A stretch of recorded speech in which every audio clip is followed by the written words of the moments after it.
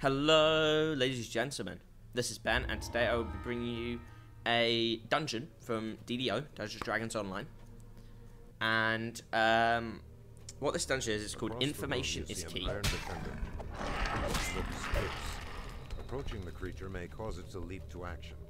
It did cause it to leap to action. So what I'm doing here is basically there is um, one of the people who I met in the pub has told me that uh, this artifact case, this uh, which has recently I think been shipped in, is um, being stored in Osgood's basement. I think it's uh, yeah, um, Osgood's basement. And so what I've got to do is basically go and steal it. Pretty much, that's the um, mission. Uh, it's classified as long, and it's actually a really good XP mission. So the first, uh, like the base XP for it is 800, which at level three, I mean it's a level two mission, but even at, up to like level four, it's still really good. So, and it's also not actually that long once you figure it out, which it took me a while to do. So, this is my character. It's the same character from my only other DDO video, um, Balstada Valsh. Uh, I, I don't know why I picked that name, but I did, and I'm, I'm probably I've got a new character who I'm who I'm liking the look of, who you might see in a future video. So, this game, um, so this is in the city of Stormreach. It's one of the first quests there is. It's, uh, you find it in the tavern, uh, the I think it's called like the Lucky Dinghy. Um, and so I've just come in and I'm now in the sewers beneath the city because that's apparently where I spend most of my time. It's where you spend most of your time in this game, fighting things like oozes. And oozes are really annoying because oozes can damage your equipment. And if your equipment gets damaged, you're pretty screwed. Where uh, damaged equipment basically means that you, um, it, it, they can get to a stage where you where they're completely unusable. So these oozes are very annoying. This dungeon is technically classified as long, although as you can see from the length of this video, it's only 10 minutes. This is because um, they're like you, as you can see here, you walk slower in the deeper water, so it it slows down the entire process of the dungeon. Ultimately, this um, so when DDO first released, almost it, was almost exclusively I think in Stormreach, the uh, main city. So obviously when you're in Stormreach, it's so obviously a lot of the stuff in Stormreach is about like in sewers or in like city streets or streets or like things just outside the city. So what I'm doing here is um so yeah, I'm basically just exploring everywhere because I, I don't think there's a breakables bonus for this dungeon, but um, I thought there might be, so I decided to. making his way down the tunnel ahead. He hears you approach and starts running. Yeah, the uh, the dungeon master is pretty freaking cheesy in this. So um, I and like he he isn't like he basically just sort of states the obvious almost. Um, I do uh, again just destroy everything, but I don't think I actually find a single thing in a chest. Um, and yeah, basically we're chasing this guy through the sewers, which is I, I think is pretty cool. Um, and there's a lot of sewer missions. And here I've found the only rest shrine in the game, and I've decided to use it because you know I'm I'm at about two thirds health. So rest shrines, for those of you who don't know, are basically places that give you back a certain amount of health and mana. It's not as much as perhaps I'd like it to be, but that's basically because mana potions, especially, are incredibly expensive, and health potions are pretty pretty expensive. And as you can see, it good, gave me back a good amount of health, not all the way up to full, but it gave me back a good amount. So now I'm just going to continue going through the dungeon, trashing everything I can, and chasing down this guy. Uh, yes, so um,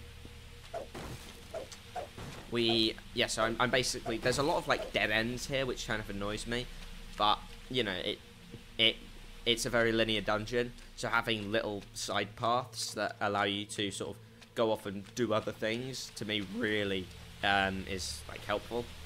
Like well not helpful but it just it's a bit of variety. It it can reward players who who enjoy exploration and like are willing to spend more time in the dungeon which is you know good. And here is the guy and he's going to run because the deep water doesn't affect him. And out come more of these iron defenders. So yeah iron defenders are basically robot dogs. Um, they fit in so perfectly in Eberron, which is the uh, set- the setting for this game, because obviously, well, Eberron is like almost like steampunk with magic, um, which is really cool. It's like everything's powered by magic, but it works like advanced technologies, and you've got things like airships. Um,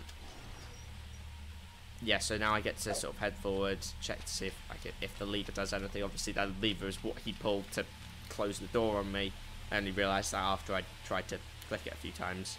But I just I keep on like adventuring, and now we come up, we're coming pretty close to the big puzzle. The puzzle which I, it's not even a puzzle. Well, it kind of is. It's not. It it's just one of those really annoying things where you just got to try everything until something works. And the annoying thing is, I tried the right thing early on, but it didn't work. Um, so here we go. Um, so there are these two ladders up. So what I'm going to do is I'm going to climb up one of these ladders at some point. Uh, no, I'm not. I'm going to go apparently just check down here. And down this side, you can, as you'll see, there is a gate. And there are also two more gates on either side with things in them. Unfortunately, I cannot get the, to the things. Behind one of the gates, I should have noticed, not that one, the other one, is a um, a valve which will which would logically open something. But um, and like like everything does in this in this game, like one thing I will say about a lot of the dungeons is it doesn't really ever hinder you for pressing everything.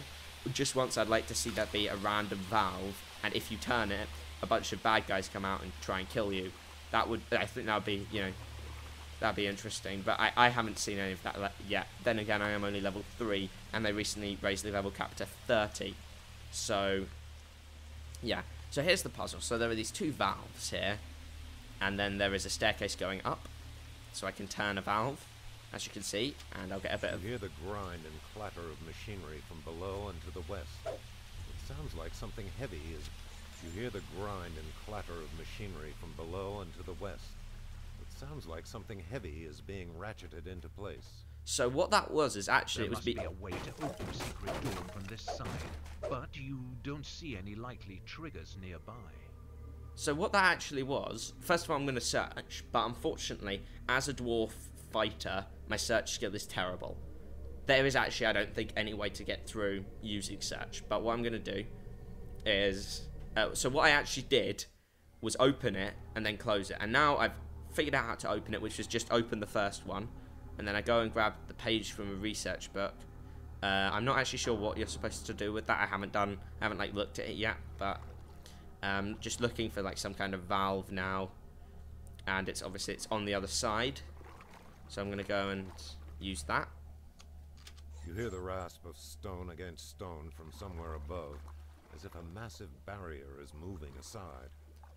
Obviously, that being the big wall, which is blocking me from the room from where the uh, enemy agent person ran. So now I'm just going to climb up the ladder. And, um, yeah, this is a fairly standard early adventure uh, in DDO. So the event, uh, the adventures that they, like, send you in are... Think you'll have like really things like this. An iron then with the secret path ends in a well-kept warehouse. This the warehouse that stashes his illicit goods related safely be smuggled out of the So, um... But the crumpled metal beast can... You lift the case and slide it onto your back. Quickly return to the Phiarlan representative. So, what I just did uh, was... Like, I basically opened into the secret warehouse, which is where we are, and then now I'm just going to quickly give everything a quick check before realizing that obviously this this room is now empty. I have finished the dungeon and I'm going to go back. Um, so what you can do here is um, so yeah, this is like a standard adventure. There's also like outdoor adventures, which are usually like you get TP'd somewhere and get and have to go and um, and deal with like something like enemies attacking the city of Stormreach. Whereas, um, and then like there's, I'd say those are actually the only two types I've encountered so far, like sewer system and outside the city, which kind of disappoints me. But we'll see as I continue to play and continue to make videos in this series. I hope you enjoyed this. I have been Ben, and um, I hope Uh, please remember to like, comment, and subscribe. And I will see you next time.